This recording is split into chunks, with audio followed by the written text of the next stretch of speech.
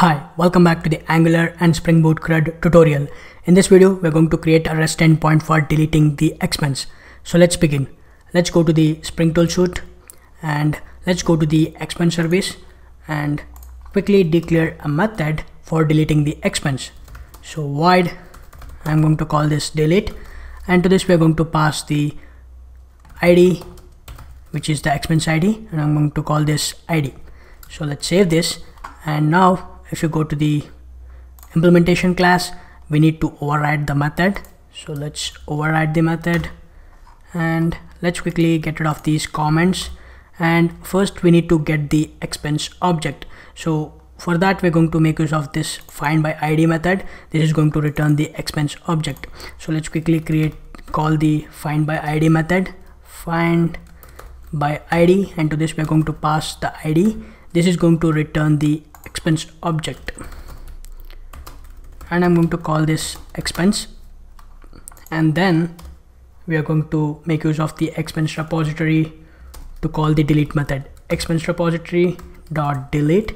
And you can see to this delete method we're going to pass the expense entity. And we're going to pass this expense object. And let's save this. So now the service method is ready for deleting the expense. All we need to do is we need to call this service method inside our controller. Let's do that. Let's go to the expense controller. Uh, let's quickly take this and paste it in the down and let's change the bits that are required. So let's change this to delete mapping because we are making a delete request. So delete mapping and I'm going to keep it as it is. Like slash expenses slash id and we're going to get the id and uh, let's change the method name to delete. And then we are going to make use of the expense service to call the delete method.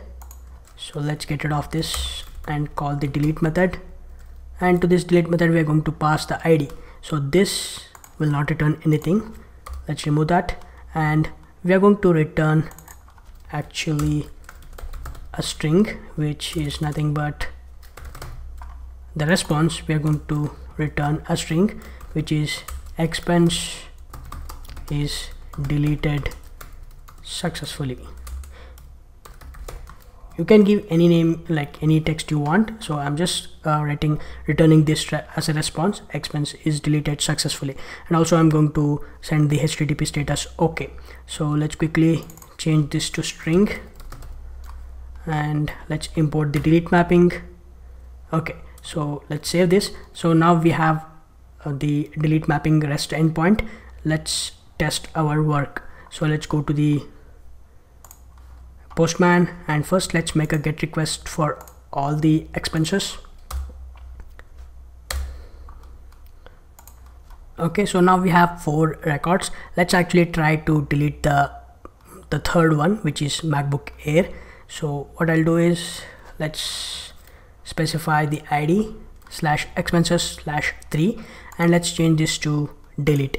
And when I click on this send you can see the response expense is deleted successfully.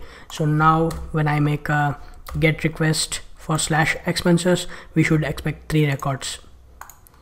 You can see now we have three records. The object 3 the id 3 has been deleted okay so now we have the rest endpoint for deleting the expense.